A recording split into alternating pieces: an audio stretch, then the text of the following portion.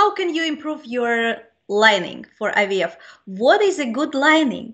Uh, that's the most important question. Um, I mean, the unless seven, eight millimeters, I would say, but even with four, five, six millimeters, women get pregnant, but the chances are lower, of course. To get higher chance of getting pregnant, you need perfect endometrium. What is perfect? Not too thin, not too thick. So at least 7 8 millimeters, but not more than 14 15 millimeters, I would say. That would be perfect. Um, how to get it perfect? How to get a perfect bed for the baby? Uh, well, I will tell you uh, things uh, things that can decrease the quality of your endometrium. First of all, this is what I'm doing my research now, uh, is endometrial uh, microbiota. This is uh, bacteria. You know, uh, if you have an infection in your uterus, uh, then it has to be treated with antibiotics before you proceed with preparing your endometrium. There are different bacteria and viruses that can live in your uterus and uh, cause chronic inflammation, so called chronic endometritis. Uh, the best way to check it is to do a PCR test, not a culture, but PCR. This is the best way to check whether you have bacteria in your womb or not. We do it in your in uh, in our EGV clinic, we can check your endometrial microbiota. And if you have some sexual transmitted diseases like chlamydia, trichomonas, etc., etc., or virus or any bacteria in your uterus, it can be treated. So first of all, infection free. If there is no infection, another thing is um, fibroids. Uh, fibroids also can uh, reduce the blood flow in your endometrium and uh, therefore uh, the thickness will not be good enough.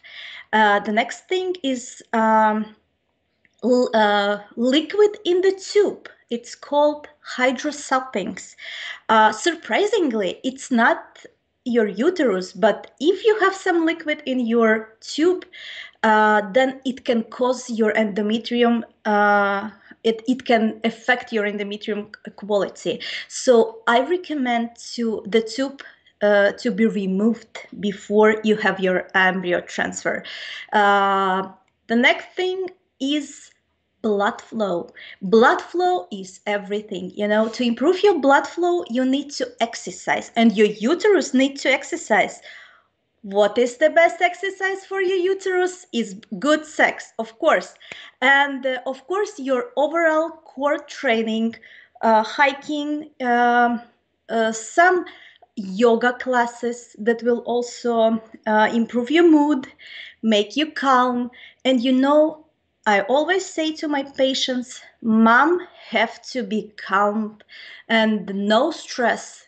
You have to be you have to trust your doctor, of course, you have to trust your body and just leave some space for miracle to happen. You know, trust God and give him ch- chance to do his work uh, not only medicines, not only what we do, but also some, you know, uh, something extra can help you to get pregnant. Um, and actually, with medications, of course, it's estrogen treatment.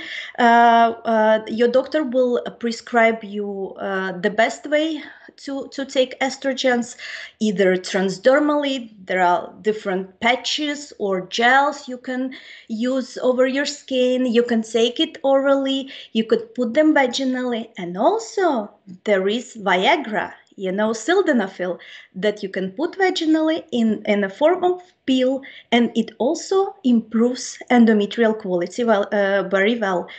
So um, there are many ways. There are, there are micro elements. There is omega.